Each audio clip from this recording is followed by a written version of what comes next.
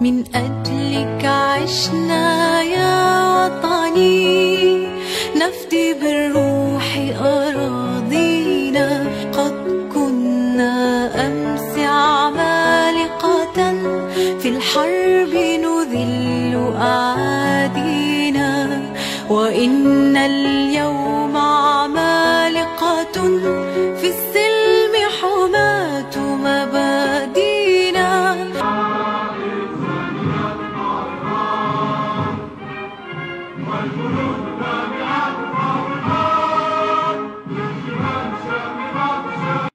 بمناسبة الذكرى المزدوجة لليوم الوطني المجاهد الموافق ل 20 أوت 1955 1956 أشرف والي ولاية الوادي السيد عبد القادر راقع رفض السلطات الأمنية والمدنية والمجتمع المدني بوضع إكليل من الزهور وقراءة الفاتحة على أرواح الشهداء بمقبرة تغزوت. لأن هذا الحدث لم يكن لأهل زمانه فقط بل كان هذا الحدث خالدا تالدا ثابتا في نفوس الجزائريين المخلصين لهذا الوطن.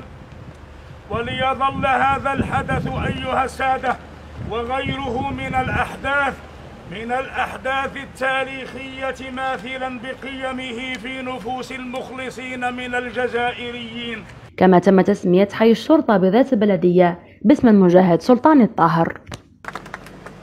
مواليد سنة 1958 رحم الله الشهيد وشهداء الوطن كافة وأسكنهم فسيح جنا- جنانه آه، المجد والخلود لشهدائنا الأبرار.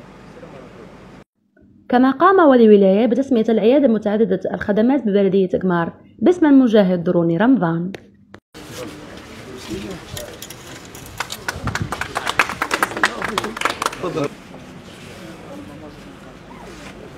كما قام السيد الوالي بهذه المناسبة أيضا بتكريم التلاميذ المتفوقين في الامتحانات المدرسية للأطوار الثلاثة لعام 2021 هي حديث الادب وفلسفة 13.72 ثانوية الوالد مدين حاسي خليفة.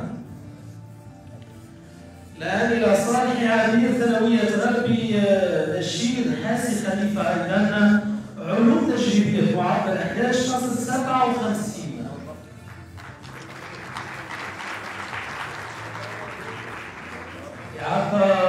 بصرية كل التوفيق والنجاح إن شاء الله.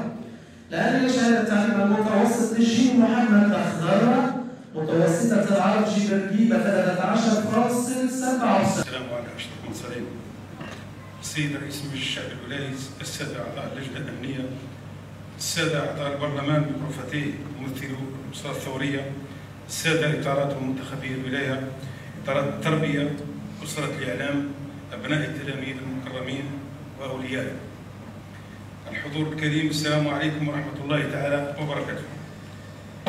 يطيب لي أن أكون معكم اليوم ونحن نحتفل بمناسبة بمناسبة غالية على الشعب الجزائري ألا وهي ذكرى 20 أوت الخالدة وما تمثل من رمزية لثورتنا المظفرة.